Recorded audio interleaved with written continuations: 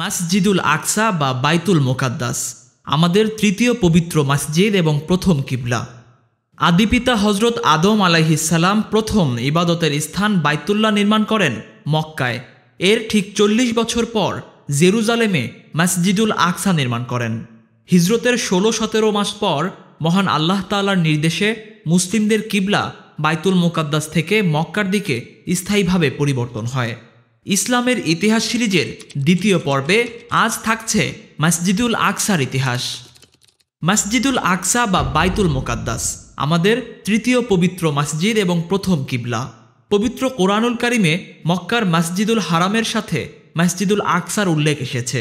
সুরা বনি ইসরায়েলের প্রথম আয়াতে আল্লাহ তাআলা বলেন سبحان الذي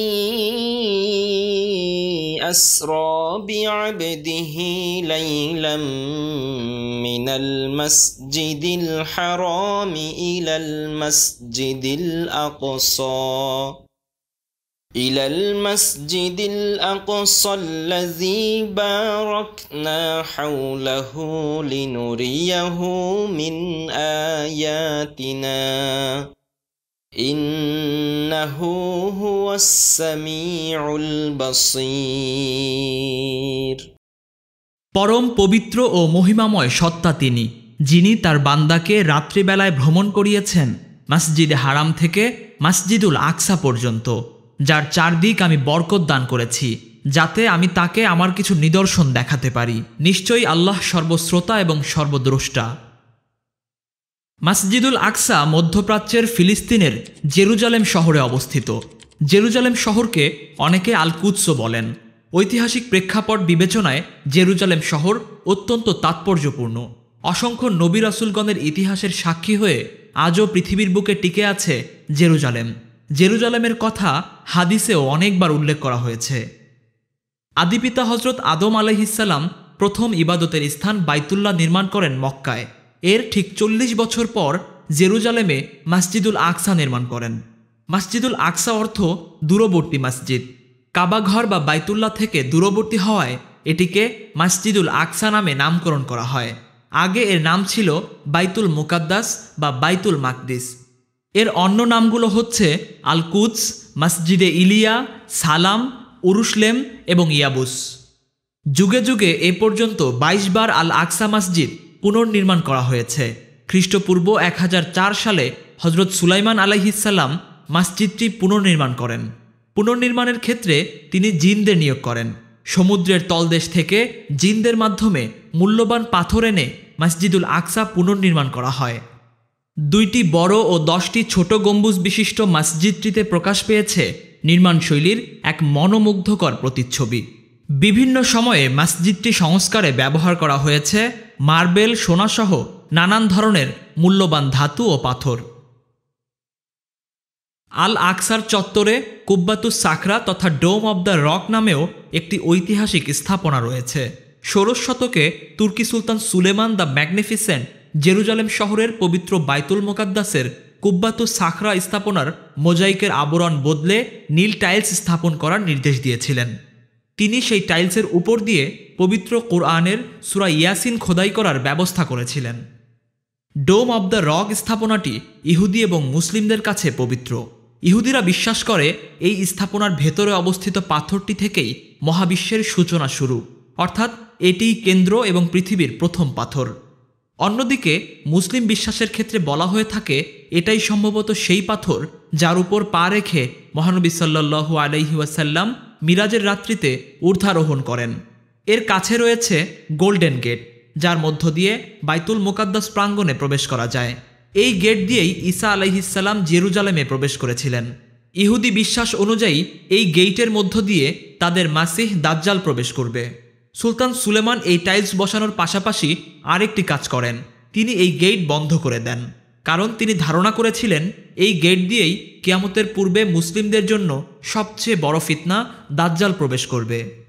মুসলিম জাহানের কাছে অন্যতম গুরুত্বপূর্ণ মিরাজ ভ্রমণের রাতে রাসুল সাল্লু আলহিউসাল্লাম মসজিদুল হারাম থেকে আল আকসা মসজিদে এসেছিলেন। এখান থেকেই তিনি ঊর্ধ্ব আকাশের দিকে যাত্রা করেন এবং পৃথিবীর রহস্য ভেদ করে আল্লাহ তালার সাথে সাক্ষাৎ করেন। সেই রাতকেই পবিত্র শবে মিরাজ বলা হয়। হজরত মুহাম্মদ সাল্লাল্লাহু আলহিউসাল্লাম মিরাজে গমনের প্রাককালে এই মসজিদে সব নবী রাসুলগণের ইমামতি করে নামাজ আদায় করেছেন। এতে তিনি ইমামুল আম্বিয়া, অর্থাৎ সকল নবীর ইমাম ও সাইয়দুল মুরসালিন, অর্থাৎ সব রাসুলের নেতা হিসেবে স্বীকৃত হন। জেরুজালেম এলাকাটি অসংখ্য নবী রাসুলগণের স্মৃতি বিজড়িত এর আশপাশে অনেক নবী রাসুলের কবর রয়েছে। প্রাচীনকাল থেকেই এই অঞ্চলটি ওহি অবতরণের স্থল, ইসলামের কেন্দ্র, ইসলামী সাংস্কৃতিক চারণভূমি এবং ইসলাম প্রচারের লালন ক্ষেত্র হিসেবে প্রসিদ্ধ। মাসজিদুল আকসায় এক রাকাত নামাজ আদায় করলে দুইশো পঞ্চাশ রাকাত, অন্য বর্ণনায় পাঁচশো রাকাত নামাজ আদায়ের সোয়াব পাওয়া যায়। আল আকসা মসজিদের গুরুত্বের আরও একটি বড় কারণ হল, রাসুল সাল্লু আলহিউসাল্লাম নবোধ প্রাপ্তির পর থেকে টানা চোদ্দ বছর পর্যন্ত আকসা মসজিদই ছিল মুসলিমদের কিবলা। হিজরতের ষোলো সতেরো মাস পর মহান আল্লাহ তালার নির্দেশে মুসলিমদের কিবলা বাইতুল মুকাদ্দাস থেকে মক্কার দিকে স্থায়ীভাবে পরিবর্তন হয়। ইহুদিদের কাছে এই স্থানটি টেম্পল মাউন্ট হিসেবে পরিচিত। তাদের দাবি, এর নিচেই রয়েছে তাদের দুটি প্রাচীন মন্দির। অন্যদিকে খ্রিস্টানরাও আল আকসা মসজিদের স্থাপনাকে তাদের পবিত্র স্থান হিসেবে দাবি করে আসছে। জেরুজালেম শহর সুদীর্ঘকাল শাসন করেছে বাইজেন্টাইন খ্রিস্টান শাসকেরা। ছয়শো আটত্রিশ খ্রিস্টাব্দে হজরত উমর রাদিয়াল্লাহু আনহু ইয়ারমুকের যুদ্ধের মাধ্যমে তাদের হাত থেকে জেরুজালেম শহর এবং মুসলিমদের প্রথম কিবলা মসজিদুল আকসাকে মুক্ত করেন। এরপর একে একে উমাইয়া, আব্বাসি ও ফাতেমীয় খেলাফতের অধীনে থাকে মসজিদুল আকসা। এক হাজার পঁচানব্বই খ্রিস্টাব্দে ইউরোপের ফ্রান্স, জার্মান, ইতালি সহ অন্য দেশগুলো মিলে জেরুজালেম শহর দখলে নিতে ক্রুসের যুদ্ধের সূচনা করে।